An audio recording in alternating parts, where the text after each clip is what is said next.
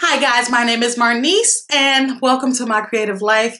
Today I just wanted to go and share with you two big portraits that I did on my own. I have done two other portraits that are about this size, but they were done in a paint night, which was so fun. I definitely recommend it. And they were step-by-step -step instructions given amongst wine and good times and fun. I had a blast. I love how the paintings came out, especially because I feel like the instructors not only wanted you to enjoy yourselves, but they wanted you to feel accomplished at the end of the night. They wanted you to say, oh my God, I created this, I painted this, and I did it kind of tipsy.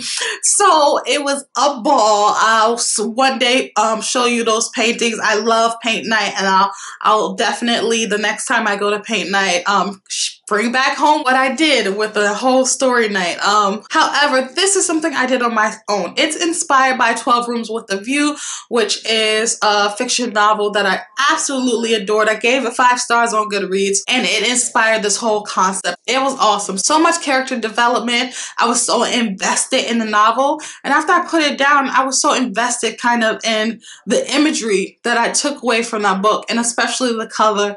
The tones really intrigued and I really tried to replicate that in this portrait. Um, it took me a while to figure it out. I worked on this for several days. I'm really specifically proud of this kind of arm section. I love how I was able to create these shadows, mixing the grays, um, getting that shadow that she was kind of sit up.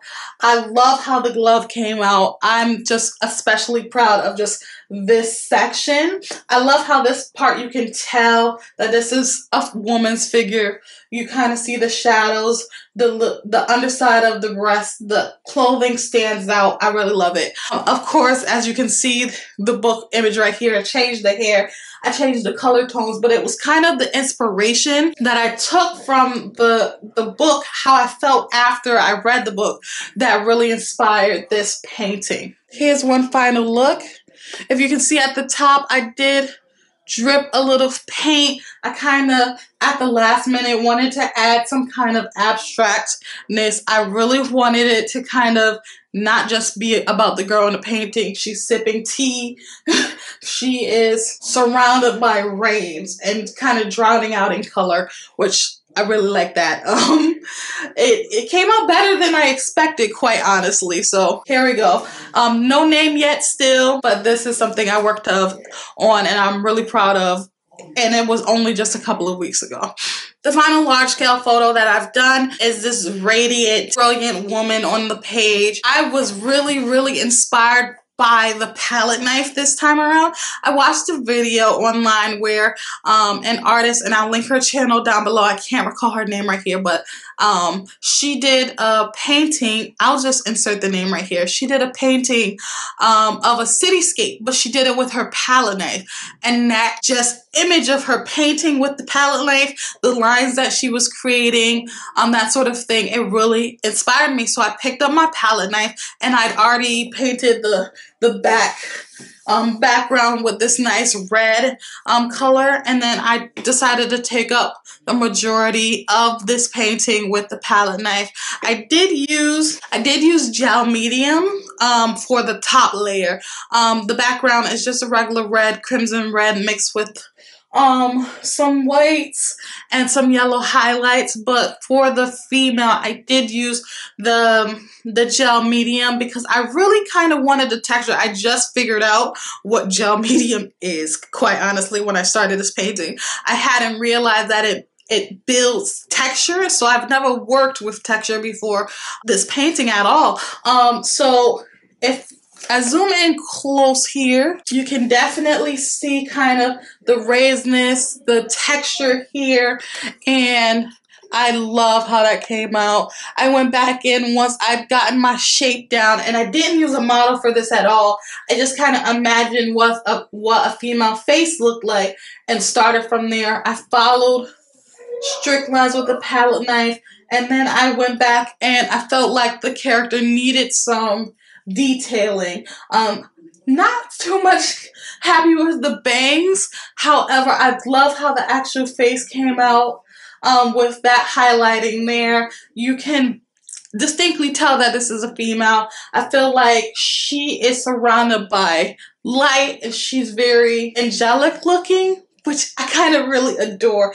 I love the color palette that I use, which I really didn't mean to use. I used yellow and white. And since I had red, I decided to add that as well. And I just, again, adore how this came out. I feel like this is like one of my best paintings so far. I do love the previous one I just showed you.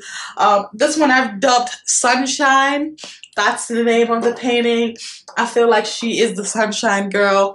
I really, I really love it. I don't know what else to say about it. I'm really glad that I started working with the gel medium. I feel like I want to do more with the gel medium. I did do one other photo. If you can see, if you can see right here, I did do one more attempt with the gel medium, and this is on one of those smaller, smaller portraits that I did on an artist pad with just some gesso on top. I'm just going to focus in here, and you can see just kind of the texture for the photo. I really, really love how I did the scarf um, jacket combo Again, I didn't use a model for this. I kind of just imagined what a girl would do. And I'm really liking the style of outlining after I've put down those colors, but not physically just creating every line. It doesn't need to be exaggerated. I love the colors, um, kind of the mystery here. I need to get better with hair, I've decided um, so far. Um, but again, I love the texture that gel medium has, and I really look forward to working with it again. So all in all, these are the portraits that I've been working on. I'm happy with my progress. It's been about since February that I've been painting um, the two paint nights that I had in February the portraits that I did in March and April. It's May now, May 2nd, and I'm just so excited to be painting. I went and got a whole bunch of materials. I went and got a whole bunch of brushes and so I'm ready to get started. I'm ready to do this. Um, I will again be sharing my journey. Thanks for watching. Um, please comment give me some feedback. I really want to know um, what you think about these larger paintings. What areas do you think I should focus on? Um, do you like them at all? Please, seriously, I'm really trying to teach myself how to paint successfully. I want to know any tips. Is there a specific way you should be working with gel medium? I just grabbed it, I picked it up, and I started using it. Um, if you have any tips, definitely go ahead, leave them down below.